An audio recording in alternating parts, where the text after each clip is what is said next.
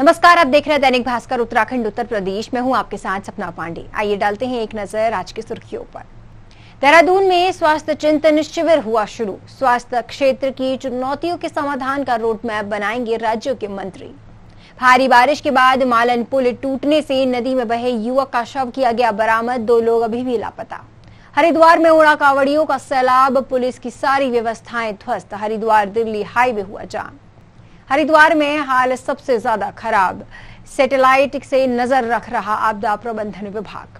हरिद्वार, रुड़की में कई गाँव जलमग्न, कमर तक भरा पानी, हर तरफ़ देखा बर्बादी का मंजर। भाजपा प्रभारी दुष्यंत गौतम ने कांग्रेस पर कसा तंज कहा, अपनी आपदा दूर करने के लिए दिल्ली भाग जाते हैं नेता।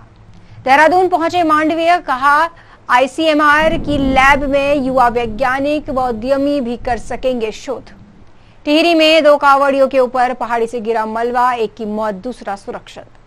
व्यास घाटी में काम के दौरान टिप्पर चालक हुआ बीमार। सरकार ने एयरलिफ्ट कर भिजवाया अस्पताल। 2026 तक बनेगा हरिद्वार, ऋषिकेश, गंगा कॉरिडोर। सीएम ने दिए तेज़ी से काम करने के निर्देश। सुल्तानपुर के जेलर वीरेंद्र वर्मा हुए सस्पेंड, बांदा जेल में मुख्तार अंसारी को सुविधा देने पर लगा था आरोप।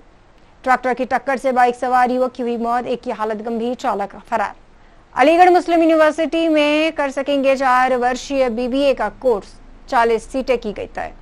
मेरठ में कांवड़ देखने गई आठ साल की बालिका के साथ किया गया दुष्कर्म, पुलिस पर अभद्रता का आरोप। यूपी बोर्ड को हाईकोर्ट से राहत, मुस्लिम से हिंदू नाम बदलने के निर्देश पर हाईकोर्ट की डबल बेंच ने लगाई रोक। सीएम योगी ने कावड़ियों पर बरसाए फूल, जयकारों से गूंज उठा हाईवे, डीजे की धुन पर खूब थिरके शिव भक्त। आम महोत्सव का सीएम योगी ने किया उद्घाटन, बोले, यूरोप का बाज़ार कर रहा यूपी के आम का इंतज़ार, गुणवत्ता बढ़ाएँ। अतीक अशरफ हत्याकांड में 2000 पेज की केस डायरी, छप्पन पन्नों की चार्जशीट में सनी सिंह को बताया गया मास्टरमाइंड। बाहुबली रमाकांत यादव का पत्र चढ़ा यूपी एसटीएफ के हत्ते। मृगांग पर दर्ज है कई मामले।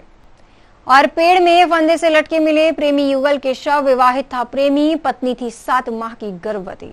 सुर्खियों में आज के लिए बस इतना ही। उत्तराखंड, उत्तर प्रदेश की सभी खबरों से जुड़े रहने के लिए देखते रहिए दैनिक भास्कर उत्तराखंड, उत्तर प्रदेश।